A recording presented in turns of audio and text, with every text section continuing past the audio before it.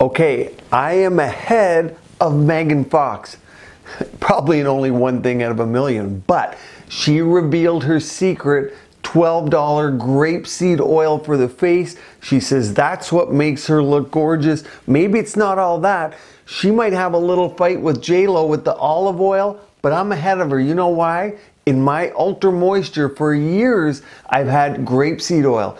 It's an antioxidant, it moisturizes the skin. I agree with her. However, guess what else? I have other things in the Ultra Moisture. Jojoba seed oil, organic sunflower seed, organic neem seed, organic rosemary leaf extract. So I agree with her. It's great. Why not combine them in the ultimate glass skin product? We got to get Megan Fox on my skincare. How do we do that?